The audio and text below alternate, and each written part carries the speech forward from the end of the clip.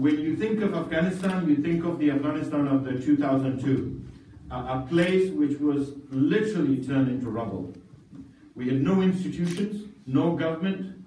There were 8,000 students at, the, uh, at universities across the country. Today we graduate over 300,000 students from universities and institutions of higher education every year.